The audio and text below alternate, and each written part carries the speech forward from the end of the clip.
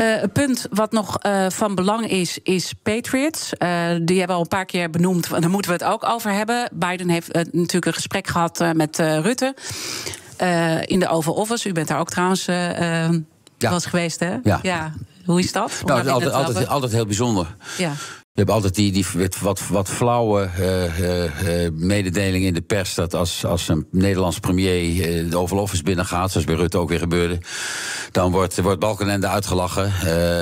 ik liep achter, achter Balkenende. Als je daar voor de eerste keer komt, en daarom vind ik dat flauw, als je daar voor de eerste keer komt, dat is overweldigend. Je komt in het kantoor van wat nog altijd de machtigste man, eh, man ter wereld is. In het Witte Huis, in het Oval Office. Dus dat is de eerste keer bijzonder. Ik herinner me dat van mezelf nog heel goed. Ja. En Jan-Peter Balkenende ook. Ja.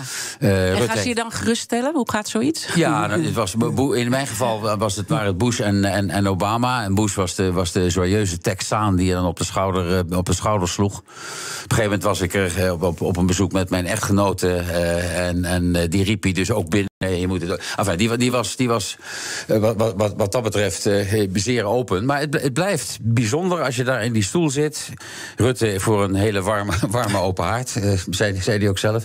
Dat is bijzonder. Ja, en dan kom je dus tot zo'n moment dat je zegt: Oké, we gaan uh, eigenlijk uh, meedoen hè, met, die, met die hele Patriot-actie. Ja.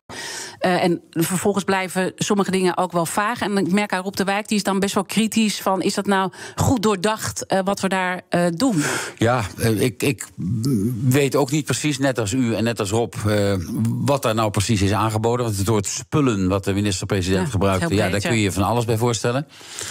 Ik hoorde Dirk Boswijk, het CDA-Kamerlid, gisteravond in op één uh, zeggen: Nou, we hebben, we hebben drie Patriot batterijen uh, en er is er één in de, in de reserve. Die staat stof te happen, zei Boswijk.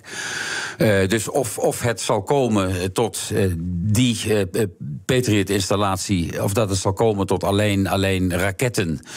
ik weet het niet, u, u weet het niet. dat valt onder de definitie van de minister-president spullen. Mm -hmm. maar de principebeslissing is kennelijk genomen in het kabinet kabinet dat wij mee gaan doen aan het, wat ik dan maar even gemakshalve noem, het project Patriot. Ja, is het verstandig?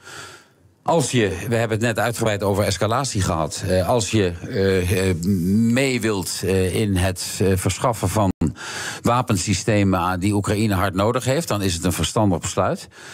Daar zeg ik bij, daarom heb ik het met Rob de Wijk en met Dirk Boswijk over de vier batterijen, installaties uh, die, die we hebben.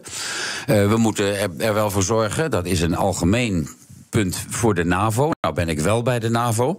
Dat wij, en ik had het net over kritische infrastructuur... en Rob had het over de haven in Rotterdam, Vlissingen, et cetera... Mm -hmm. dat wij wel in staat moeten blijven eh, ons eigen grondgebied te verdedigen... indien dat noodzakelijk is. En dat is, dat is dus iedereen van zeggen... ja, zeg Patriots voor Rotterdam. Nou, dat, dat is helemaal geen mm -hmm. dwaze gedachte... In een, in een potentieel verder escalerend scenario. Alleen, waar ik het niet met Rob eens ben... Uh, is, is dat, je, dat je zegt, ja, luister eens... We, we, moeten naar alternatieven zoeken die er wat mij betreft dus niet zijn.